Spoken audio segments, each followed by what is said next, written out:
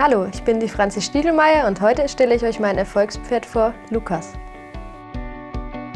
Ich kenne Lukas schon seit der Geburt sozusagen. Ich habe seinen Vater schon geritten und äh, der war auch hier auf Station aufgestallt und dann guckt man natürlich immer nach guten Fohlen.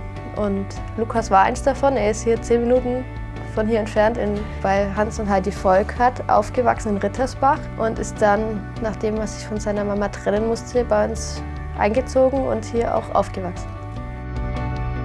Lukas war schon immer so mein Kuschelpferd als Fohlen, als Jährling. Bin schon immer zu ihm hin und habe mich einfach mit ihm beschäftigt. Und dann war ich ja, als er drei war, war ich ja dann auch schon 15. Und dann hat Papa gesagt, okay, ich lasse dich jetzt den reiten, auch schon als Dreijährigen und auch Bundeschampionat, weil wenn du es nicht magst, dann lernst du es nicht. Und ich denke, das war auch eine richtige Entscheidung. Und so sind wir halt einfach zu einem richtig starken Team zusammengewachsen von klein auf.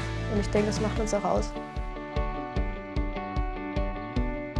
Also es macht mich schon besonders stolz, denn man sieht es bei vielen und auch schon damals bei den Ponys und immer haben halt immer viele Bereiter auch gehabt. Und selber habe ich mir, klar, wie ich jünger war, waren die vielleicht erfolgreich. Und ich habe mir gedacht, komm, ne, warum reitet mir keiner die Pferde, dass ich nur...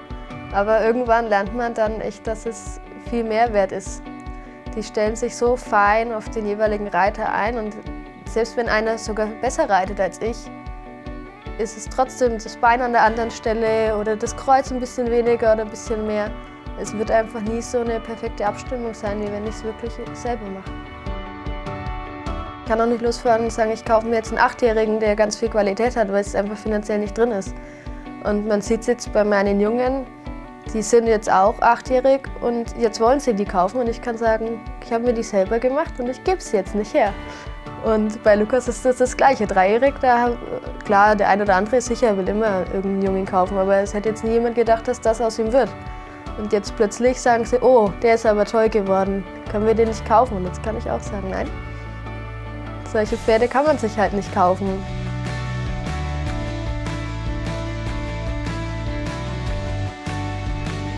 Früher haben auch immer viele zu mir gesagt, ja, und ohne das Geld, das schaffst du nicht, das schaffst du nie. Da ist so viel Geld in dem Sport, kannst du dir abschminken. Und jetzt kann ich immer sagen, siehst du, du musst einfach nur hartnäckig sein und auch mal die ein oder andere Klatsche einstecken und dann äh, kann man es trotzdem schaffen.